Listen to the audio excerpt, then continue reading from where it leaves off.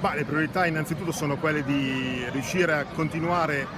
nel migliorare quella che è un'organizzazione che offre servizi all'agricoltura, agricoltura moderna, avanzata, perché è un'agricoltura che sta cambiando e anche i servizi che noi offriamo alle aziende devono essere adeguati a queste innovazioni. Dall'altra parte credo che per Piacenza ci siano delle priorità fondamentali che sono partendo dalla montagna, la lotta senza tregua al problema dei selvatici che sta diventando una calamità, così come le strutture necessarie per garantire l'uso dell'acqua in un tempo moderno, ad esempio le traverse e il progetto sulla diga fondamentale per ovviare i rischi del passato e altra cosa il grande investimento su quelli che sono rapporti diversi nell'agroindustria tra produzione agricola e industria. Dobbiamo valorizzare Made in Italy e far fronte a una politica europea che vuole l'indistintività e dove oggi la Coca-Cola Light è considerato un prodotto che fa bene quindi marchiato col bollino verde a fronte del latte considerato rosso. Quindi questa è la cultura che dobbiamo combattere